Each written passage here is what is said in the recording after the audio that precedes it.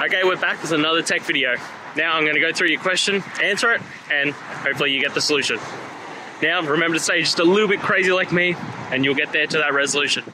Alright, let's continue on to the video.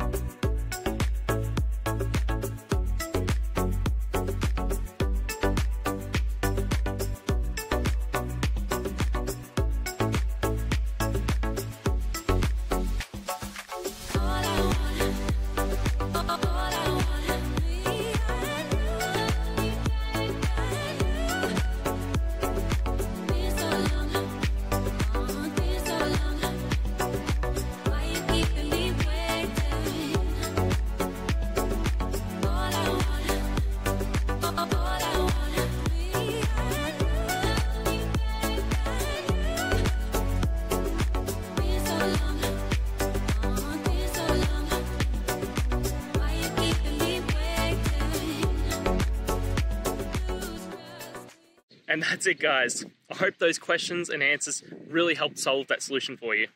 If it did, please hit subscribe. I'd really appreciate it. Now, until you need next technical video, I'll be here. Have a good one.